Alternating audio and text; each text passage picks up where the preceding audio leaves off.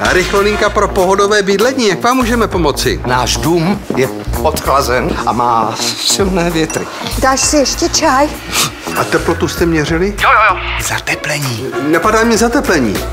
A co okna, střecha a topení? Prosím vás, a kde na to asi tak mám říct? Zůstaňte v klidu, to hned vyřešíme. Můžete mít 100 tisíc za 816 korun měsíčně s rychloúvěrem. I vaše bydlení postavíme rychle na nohy. Modrá pyramida.